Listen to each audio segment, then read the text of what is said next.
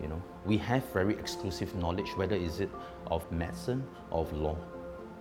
But that exclusive knowledge must be shared. By pro bono is a Latin term. It means for the public good.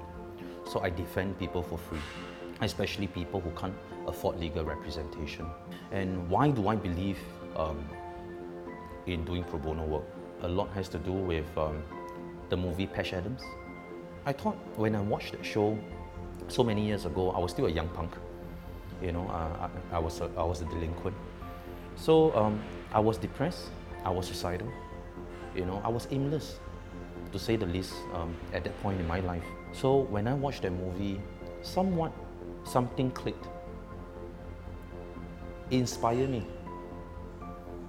And of course, uh, that is not the only reason, but that is really one of the, the, the, the main reasons uh, uh, why I can even have that kind of so-called enlightening. It taught me uh, the very, very golden lesson in life that um, you might be a trained professional. So in a way, people see professionals as uh, elites of the society. You know, we have very exclusive knowledge, whether is it of uh, medicine or of law. But nevertheless, that exclusive knowledge must be shared.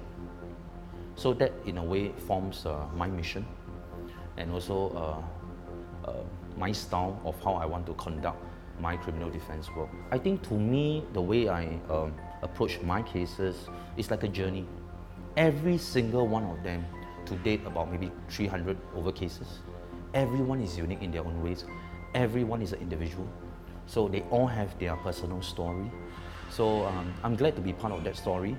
Uh, many of them life-changing, whether is it in a good or in a bad way. To be part of that process, part of that journey.